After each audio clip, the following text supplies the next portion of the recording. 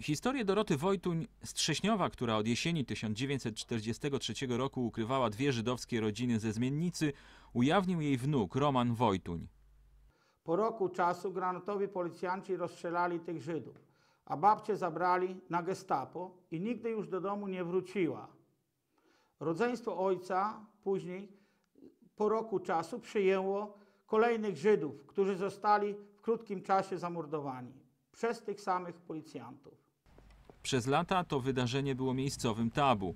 Zdaniem żony pana Romana ludzi nadal paraliżuje strach przed ewentualnym odwetem za ujawnienie faktów sprzed ponad 70 lat. Nie chce się o tym mówić po prostu dlatego, że na tym terenie żyją potomkowie tych granatowych policjantów. Milczenie w tej sprawie zostało jednak przerwane. Dziś w szkole w Trześniowie odbyło się spotkanie młodzieży z aktywistami żydowskiej Fundacji Zapomniane. To jej członkowie nadali bieg wydarzeniom, by upamiętnić zamordowanych Żydów. Na pewno będą drgania w środowisku, że to nie Niemcy, tylko Polacy. Mogą być różne przypuszczenia. Ja nie chcę się wdawać w historię gdzieś, bo półsłówkami coś się już usłyszało. Zdaniem Agnieszki Nieradko z Fundacji Zapomniane, historyczne rozliczenia nie są jednak teraz skazane.